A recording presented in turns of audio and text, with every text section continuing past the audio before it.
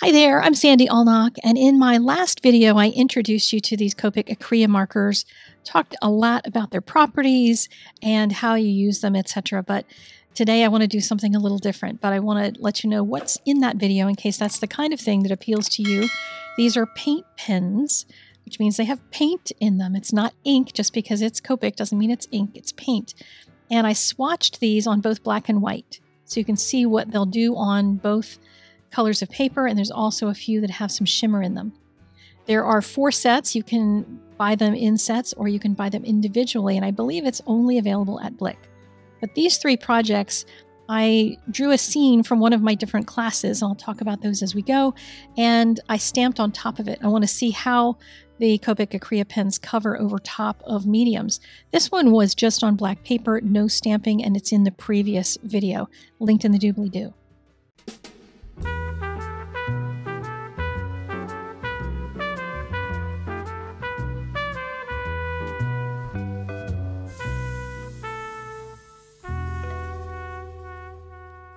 So I wanted to talk about stampers because I've had questions from those who do a lot of stamping.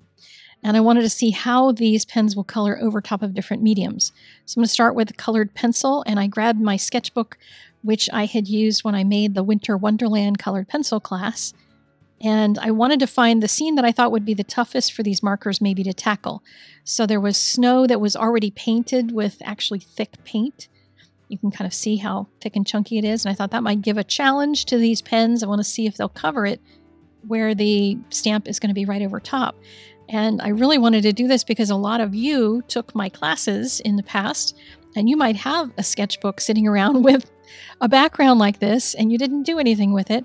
Well, I want to find out can we take those old sketches that we did and combine them now with some stamping using these Acrea pens. Now I know some people will just die cut the image and stick it on, but I don't like to do that.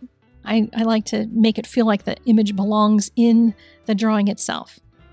So here I'm stamping him in a waterproof ink because these are uh, water-based pens. So you want to use a waterproof ink. And I didn't stamp the feet. Like I didn't get that on the ink pad so that he can look like he's setting into the snow and then just started working on it. Now, the pens that I got, there's two sets that I purchased. One is the uh, Essentials, I guess they call it, and it has a black and a white, a silver and a gold, and a gray and a uh, brown. And it's kind of like not exciting. It's not purples and pinks and yellows and that sort of thing, but I think it's probably the most useful if you just want to get a set of pens to try and see how you like them. I'm not big on paint pens myself, and I didn't find it real easy, as I find with all paint pens, to get the paint to go on like thick and matte. I was expecting to be able to make it look kind of like a nice flat gouache, and that didn't happen. They, they just always felt really chunky. The pens need a lot of TLC. You need to shake them pretty good in order to get them going, and you can see I'm kind of pressing to try to get enough to come out to cover that colored pencil. And this is light color of colored pencil, but it's thick.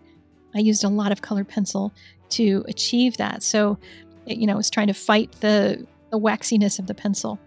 I drew a hat on top as well. When you draw a hat on top of something, if you cut off part of the head, then it makes it look like it's kind of sitting on the head rather than just kind of floating above or behind the head. So added the hat to it and then used the same pen. This is the peacock green. And this is one of the colors that's in the deep color set. So that's the other one that I got. And that's the other one that was in the swatch test if you were looking at the bright colors. And just put a heart there in the middle with a little bit of the peacock green going around the hands, so, or the hands, the flippers. So it looks like he's holding them. And then just added a little bit of blue in the background of the snow. And that makes him look like he's setting into the snow itself. Uh, to finish it off, I wanted to see okay, how does this stuff layer? Can I put one more layer of something on top so it looks like he's also in the snow rather than in front of the snow? And that worked fairly well. Um, overall, I wasn't dissatisfied, and you can certainly do it, but when you look really close, you can see it's kind of chunky. It's, you know, maybe there's technique that I'm just terrible at that could be, but I just had trouble trying to get it to be nice and smooth. But if you are experienced with paint, paint pens, you might totally know that I have done something wrong. So please do tell me if so. I would love some tips. Now, this next one I'm going to do is a, a with watercolor. I did a painting of a galaxy. I have a galaxy mini class, which is really fun. And I used just two colors, well, three colors actually, it's three blobs of color, a toothbrush, and some gouache in order to make all those stars. And this is a very old set from my favorite things. And I stamped it and he kind of disappears in there. But I wanted to test this because I wanted to see if I used the Copic Acrea over top of a staining color and then also over top of white. I wanted something that's going to border the two so we can see does this cover over top of the color as well as it covers over the white and are you going to be able to see any difference? Now when I looked at the images that Copic provides to Blick, you know, they provided little pictures of art, you could see that there was some stuff you could see under the overlap. So I think maybe it's not just me because whoever the artist was that created the little doodles on the website, if you look at that, you can you can see where colors were layered. But, you know, I'm not going to worry about it too much. I'm just going to assume that that's the way paint pens work. And that's one of the reasons I haven't used them very often in my history as an artist. I have a couple of them here, but mostly white pens for, you know, white pen usage.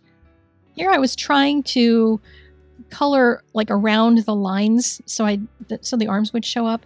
If you did the Acrea work while the art is in a MISTI, a stamping platform of some kind, then leave it in there, do your your Copic Acrea work, and then restamp over top of it because that might actually help to make everything kind of work out so that you get those lines back without having to draw them.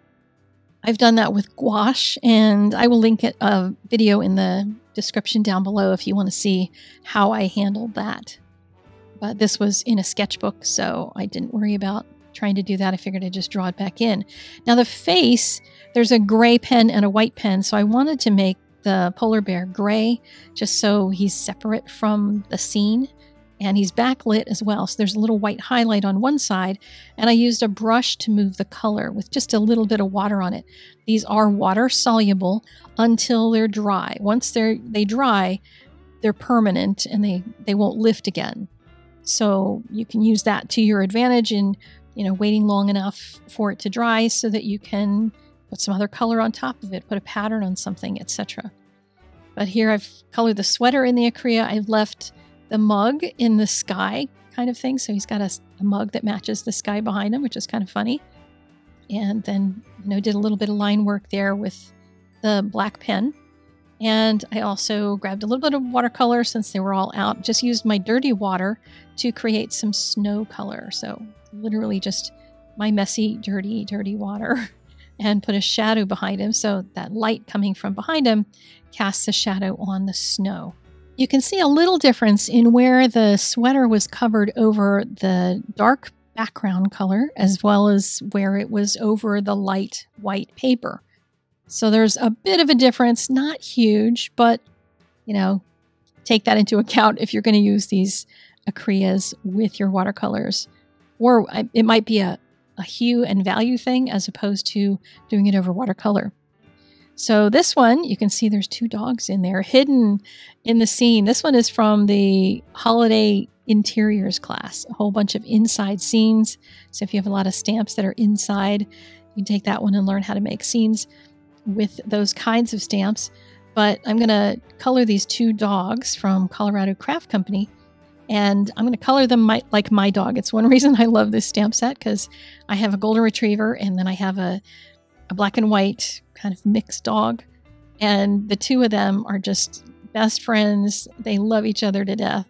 And uh, yeah, all the dogs that appear in my videos end up looking like my dogs. So this is my Giallo, and I'm painting him in the gold pen. I eventually just kind of covered over the back legs and I figured I'd draw them back in because you know, drawing around in between them is kind of an issue. I think putting it in a stamping platform is probably the way to go so that you can restamp on top of the color and then get those crisp outlines on the top. but it does cover, I think, the Copic marker better than it seems to cover other mediums. But of course, because it was made by Copic and they made it for their people, so that kind of makes sense. You know, it also can be the colors, but here I made sure that I made a really complicated tree so I could see am I able to, with these pens, cover enough of the dog so that you don't really see the tree transparently through the dog. And I also didn't want to make the dog solid black. You know, I don't have much color choice in terms of trying to make anything look realistic. And you know me and trying to make realism. But I needed something to make it look like it wasn't just a big flat white dog. So I combined the white pen, used the white pen to do the legs and the head and then the outsides of the body. And then I'm going to use the gray pen on the interior. And it's just going to give it a little bit more difference in value, just a slight bit, so that it feels more like my dog because She's all, uh, she's got one little spot on the back of her tail and then two spots over her two eyes. So she's always fun to add on any kind of a piece of art. So again, I did still struggle with trying to get that flat coverage. And I did find that a second coat seems to work well to go back in after it dries. And it doesn't take long to dry at all, just a, a minute or two.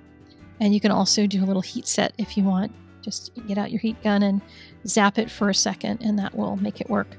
So here you can see the gold on the dog and the silver on Vienna's collar. So they do come out nice and shiny. So I'm going to link you to all four sets in the doobly doo down below if you're interested in them. And uh, yeah, that's about all I have for these Copic Acrea for now. Uh, let me know what you think of these. Are you going to get yourself a set? Which ones might you want? Do you need that gold and silver? All right. I will talk to you again soon. Take care. Bye bye.